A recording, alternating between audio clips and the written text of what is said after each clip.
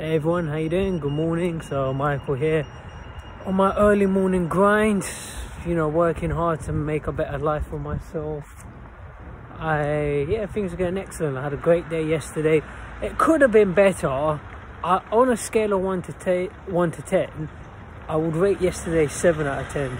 It could have been a ten out of ten, but I just didn't push myself enough. Today's definitely going to be ten out of ten.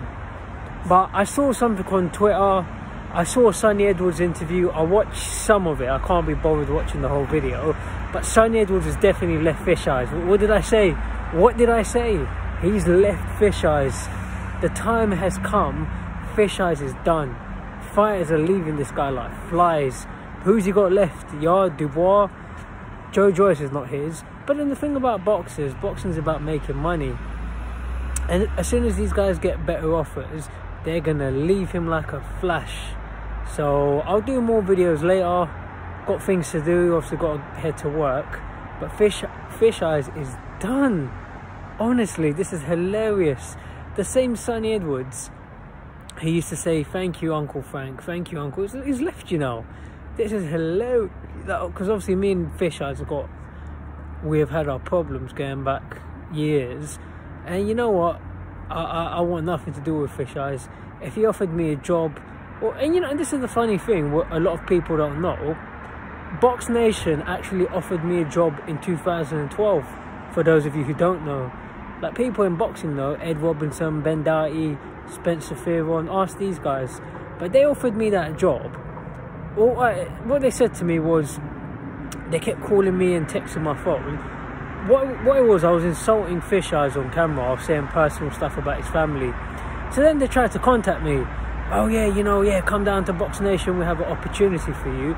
But I'm not stupid because if I go there, obviously you're gonna give me a job, cool, but you're not gonna pay me. It's not not not a multi-million pound position, is it? And you're gonna tell me what I can and can't say. You're gonna try and control me, get me to shut up, and get me to stop talking about them on social media and stuff like that. So I turned the opportunity down. So that's for those of you who don't know.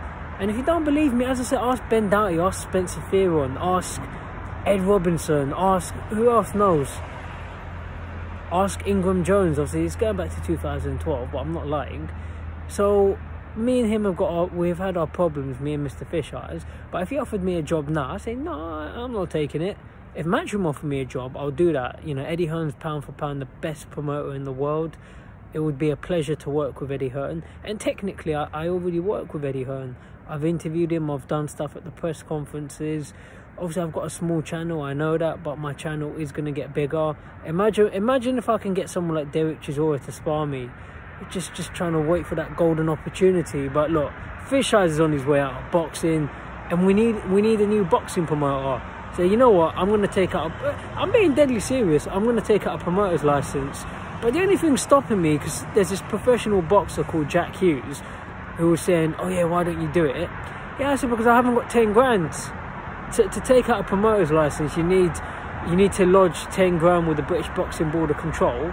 I haven't got ten grand, but if I get a promoter's license, I get on well with Goodwin. I get on with Eddie Hearn. So I'd only do it if people in boxing like them are willing to work with me. And I'd say, look, let me just work my way up, become an apprentice, like that Alan Sugar show, and and just because there's nobody in boxing that's a better talker than me, I can guarantee you that. I'd put myself in the same level as Eddie Hearn and David Haye, but I'd say I'm probably better because I talk more about real life, and I don't lie. Like obviously, I know you got to promote and hype fighters up, but I won't lie about things, you know. So I'd say I'm I'm, I'm a better talker than them guys.